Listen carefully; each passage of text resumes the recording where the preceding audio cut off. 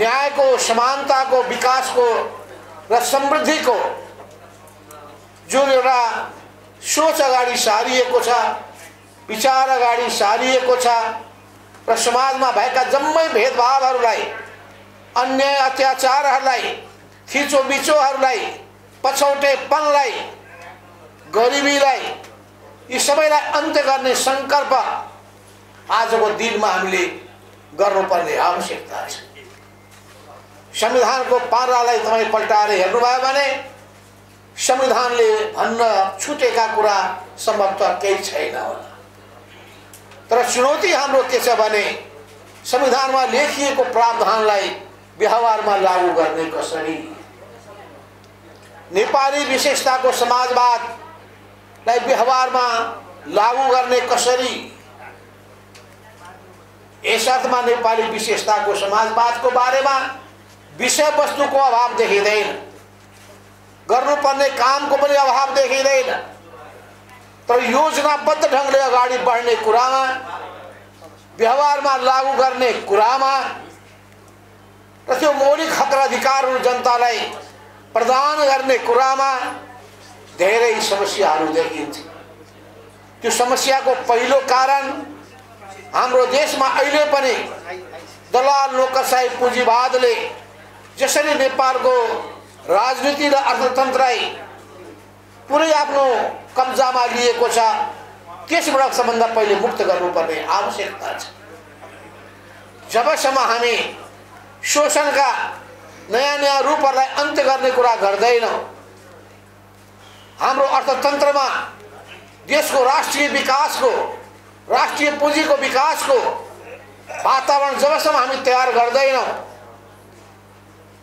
जबसम्म हामीले हाम्रो शिक्षा प्रणालीलाई तद्रूप नै अगाडि बढाउँदैनौँ जबसम्म हामी राम्रो संस्कार र संस्कृतिमा युवाहरूलाई र हाम्रो बालबालिकाहरूलाई जनतालाई अगाडि बढाउँदैनौँ जबसम्म उनीहरूलाई श्रम गर्ने मेहनत गर्ने सिप सिक्ने र सिपलाई उत्पादनसँग जोड्ने काममा प्रेरित गर्दैनौँ।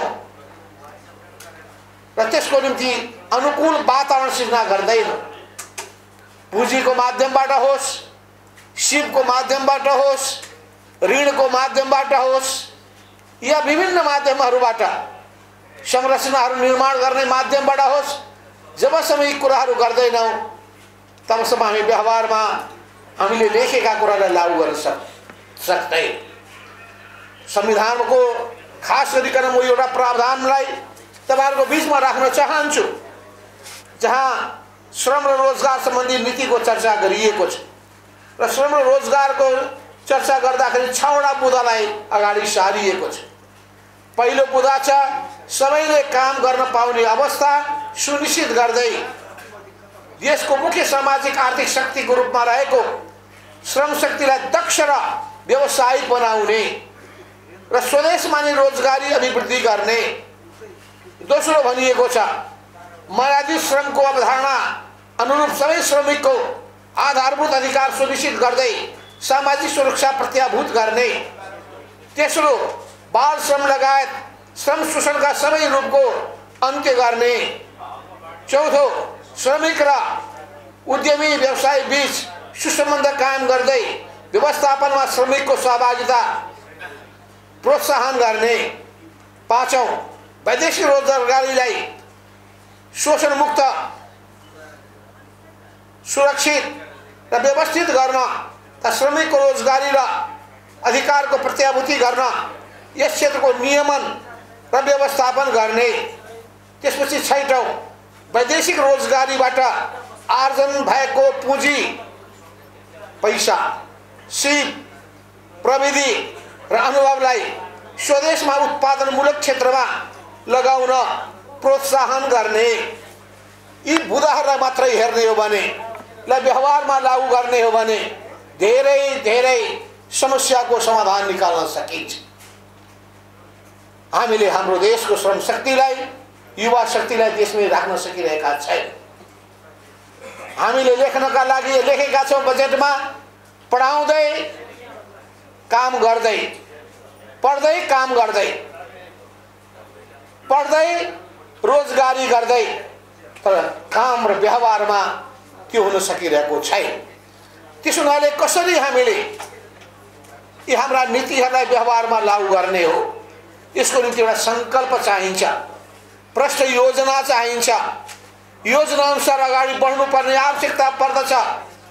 हामी सरकारलाई संविधानमा उल्लेख गरिएका कुराहरू आफैले जुन हिसाबले प्रतिबद्धता व्यक्त गरिएको छ ती कुराहरू व्यवहारमा लागू गरेर देखाउनका लागि हामी अघि बढ्न आह्वान गर्न चाहन्छौँ। अगाडि बढ्नुहोस्। समाजवादी मोर्चाले पनि र हाम्रो पार्टीले पनि राम्रो कामको निम्ति सरकारलाई पुरै साथ दिनेछ। तपाईँ रिटर्निङ साथीहरूलाई भन्न चाहन्छु अहिले हाम्रो पार्टीले जुन हिसाबले देशभरिमा तपाईँहरूलाई रिटर्नीहरू को को छन् ती सबैसँग सम्पर्क सम्बन्ध कायम गर्ने र हाम्रो पार्टीमा आकर्षित गर्ने आबद्ध गर्ने काममा जुट्ने कुरा तपाईँहरूको पहिलो काम हुनेछ। त्यसपछि रिटर्नीहरूका समस्याहरू के छन् त्यसबारेमा बसेर छलफल गरेर सरकारलाई सुझावहरू दिने आवश्यक पर्ने दबाब दिने काममा तपाईँले जुट्नुपर्ने हुन्छ पार्टीले तपाईँलाई पुरै साथ दिनेछ।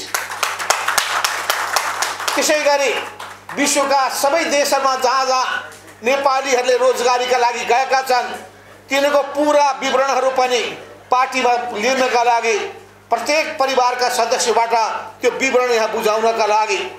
त्यति मात्रै होइन नेपालीहरू जहाँ जहाँ छन् तिनीहरूसँग हामीसँग जोडिन चाहने जोडिएका तिनीहरूको पनि पुरै विवरण हाम्रो अहिले वैदेशिक रोजगारीको या भनौँ प्रवासी नेपालीहरूको कामको जिम्मेवारी कमल शिवप्रसाद शाहले पाउनु भएको छ।